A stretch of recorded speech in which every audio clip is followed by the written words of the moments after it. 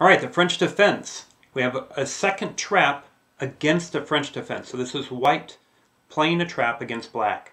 After you watch these three videos, this is number two, the progressive level video, then you're probably not going to want to play the black side of the French defense because these are all traps that white springs against black. In the first video, we explained that the French defense is e6 on black's first move and that the main problem behind it is the light squared bishop can't get out and into the action.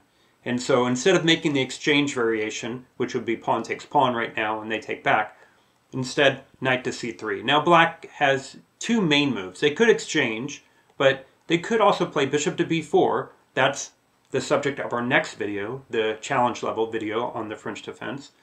And this is called the Winawer variation. But we're going to look at another trap in the classical French, which is after knight f6, we're going to pin the knight. Black breaks the pin. Now we gain space and chase that knight away. I explained in the fundamental level why we want to gain space, and then also I explained why we want to make this bishop trade, our bad bishop for their good bishop. And then you want to solidify your center because in the French defense, that's what black's goal is, is to collapse your center with the pawn pushes c5 and possibly f6 to attack the base of your pawn chain and the head of your pawn chain. So you play pawn to f4, really solidify things.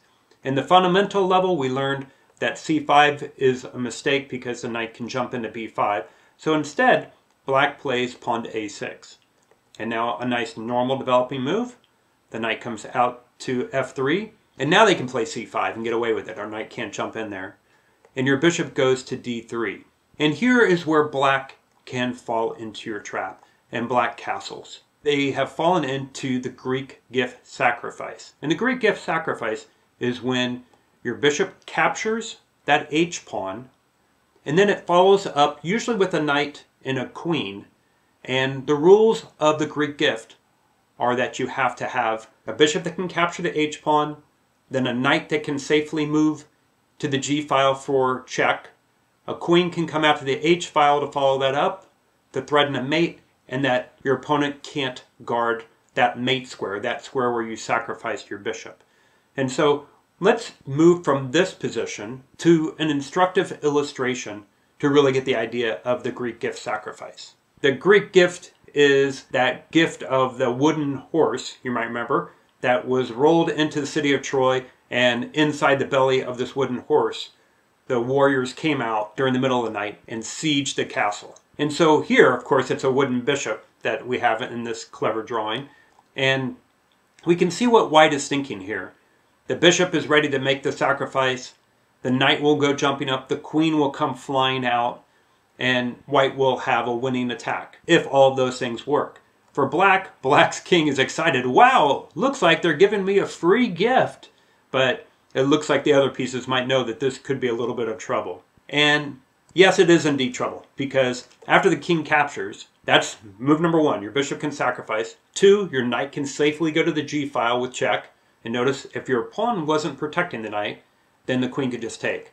Then three, your queen can get out to that h file to threaten mate on that square where you sacrifice the bishop.